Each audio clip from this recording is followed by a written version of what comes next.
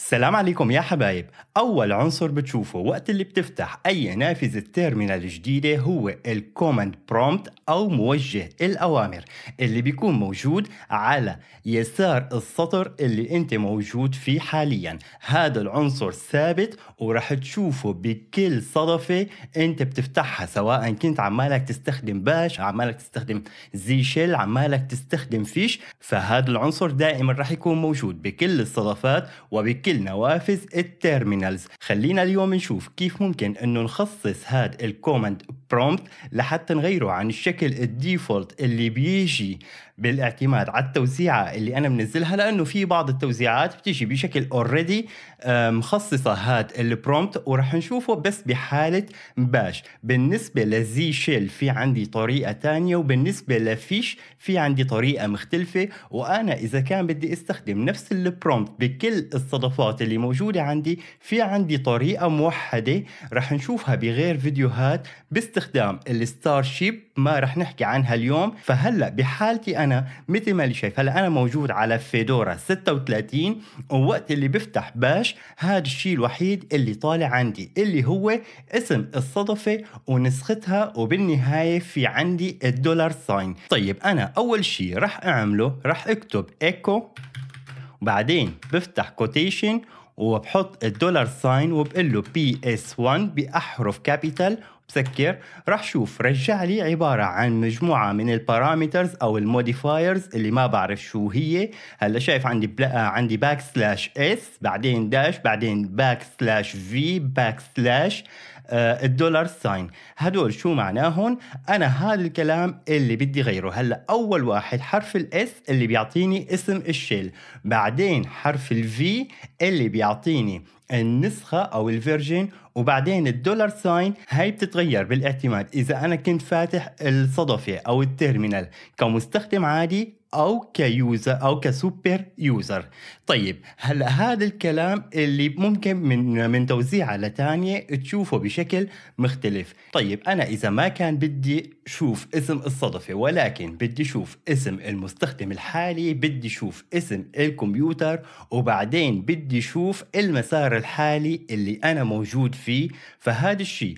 أول شيء رح نعمله ضمن ال terminal نفسها ما رح يكون بشكل دائم ما راح يكون permanent وبعدين راح نشوف كيف راح نحوله ل permanent هلأ لحتى أعمله بشكل interactive يعني إني أتعامل معه ضمن الصدفة أو ضمن ال terminal اللي أنا فاتحها فراح أقول له export وبعدين بقول له PS 1 بعدين يساوي بفتح quotation mark مثل ما حكيت بدي أول شيء شوف اسم المستخدم اللي عماله يستخدم هي ال terminal فراح أحط له ال backslash بعدين بالنسبة لحالة المستخدم رح أحط حرف u اللي جاي من ال username بعدها بدي أحط إشارة ال at فرح اكتب at بدون أي backslash أو أي شيء فرح أقول له at وبعدين بدي يكون اسم الكمبيوتر محصور ضمن قوسين مربعين. فأول شيء رح أحط قوس مربع. وبعدين رح أحط ال backslash وراح أحط حرف الاتش اللي هي جاية من ال hostname وبعدين راح سكر القوس المربع. فراح أقول له سكرت القوس. طيب هلا رح سكر ال quotation mark وبضغط enter مثل ما لي شايف مباشرة إنه تغيرت من اسم الصدفة لاسم المستخدم. بعدين في عندي إشارة ال at اللي عرفتها بالبداية بعدين في عندي القوس وبعدين اسم الكمبيوتر. طيب بعد هاد الشي لنقول إنه أنا بدي أشوف المسار اللي أنا موجود فيه. فرح أرجع لنفس الأمر اللي حطيته وبعد القوس المربع طبعا القوس المربع هاد ماله إجباري بس أنا حطيته لحتى يكون في عندي تمييز بين اسم المستخدم والكمبيوتر. فبعد القوس المربع كمان رح أحط سبيس بدي يكونوا مفصولين ب space رح أحط space ورح أحط ال backslash ورح أحط W بس رح تكون حرف capital وبعدها رح أحط كمان space بدي أفصلهم ب space ورح أحط ال backslash وراح أحط ال dollar sign ال dollar sign مثل ما حكيت بالبداية بتتغير بالاعتماد على ال user اللي عماله يستخدم الجهاز. هلا راح أضغط enter فراح شوف إنه اعطاني نفس الكلام اللي اعطاني إياه بالبداية وبعدها اعطاني إشارة المدة اللي بتدل إنه أنا حاليا موجود بال home directory إذا قلت له pwd راح شوف إني موجود ضمن ال home directory اللي مثل ما بنعرف اختصاره هو إشارة المدة. طيب هاد بحالة بس نحن عرضنا ثلاث أمثلة.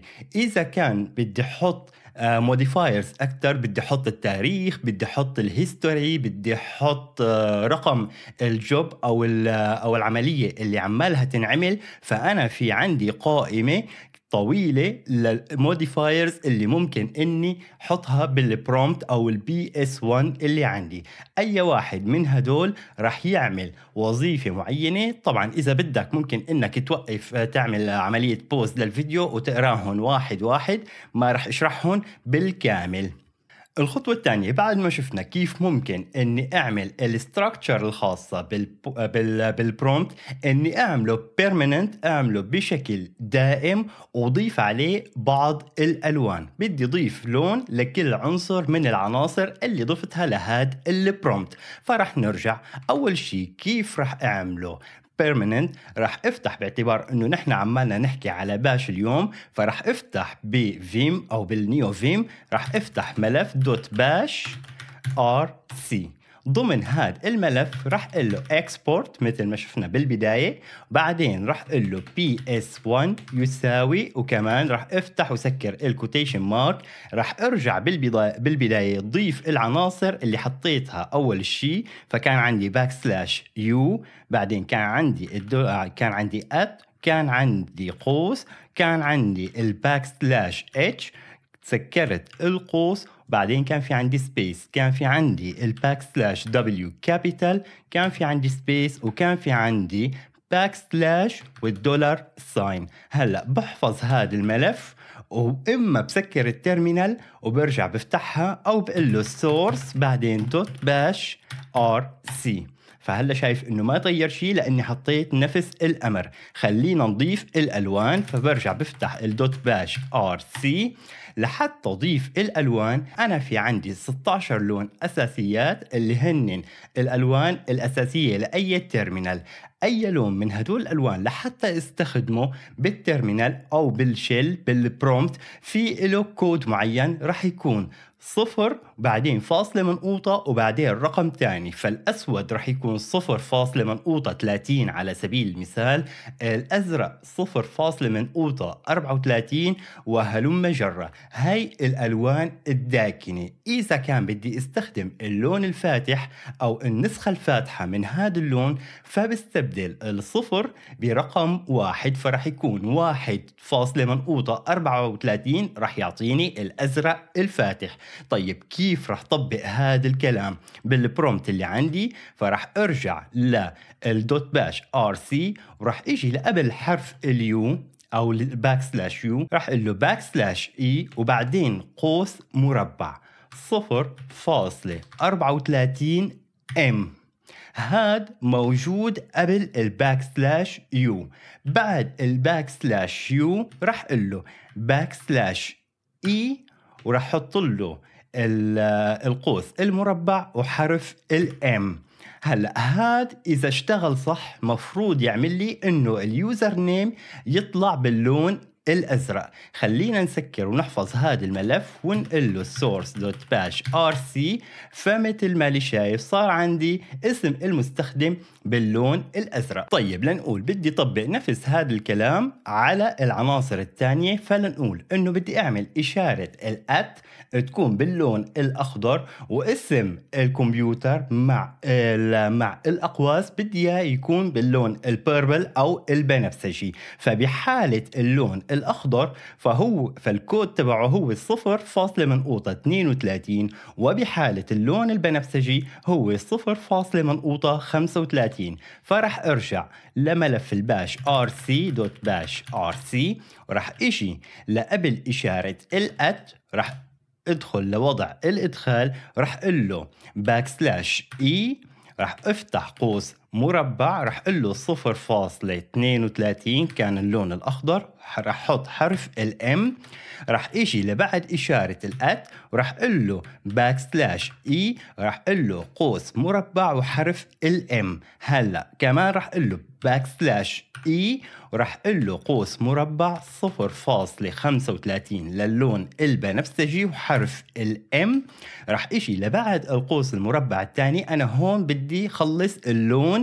البنفسجي فراح أقول له كمان backslash e راح أقول له قوس مربع و m وراح هيك بيكون خلصنا. فتغيير الألوان مثل ما شفنا إنه أنا عمالي أحصر العنصر اللي بدي غير لونه ضمن ضمن محددين. المحدد الأول اللي بيبتدي اللي إنه إنه هون عمالة تبتدي عملية التلوين اللي هو backslash e القوس المربع وبعدين بيجي عندي اللون. وبعد ما خلص هذا العنصر عمال يقول له backslash القوس المربع وحرف ال m لحتى أقول له إنه خلص. بس لهون وقف لي هذا اللون. إذا بدي أحط لون ثاني لعنصر ثاني برجع بحط نفس هي الصيغة اللي هي backslash e و backslash e فخلينا نحفظ هذا الملف ونشوفه رح يشتغل ولا لا. كمان رح أرجع له dot source bash rc. هلأ مثل ما اللي شايف صار عندي اسم المستخدم باللون الأزرق. صارت عندي إشارة ال at باللون الأخضر. وبالنسبة لاسم الكمبيوتر صار عندي باللون البنفسجي. هلأ مثل ما أنا شايف إنه المسار الحالي اللي أنا موجود فيه وال dollar sign ما تغيرت ضلت باللون الأبيض لأني أنا بالأساس ما حددت لها أي لون إضافي. خلينا نشوف بقسم التعليقات. شو هي ال command prompt اللي أنت عمالك تستخدمها؟ شو هي الألوان اللي عندك؟ هل في عندك طريقة آه، بتحب إنك تستخدم فيها؟ كل هذا الكلام اتركوا لي بقسم التعليقات. بلتقي فيكم بالفيديو الجاي وبأمان الله.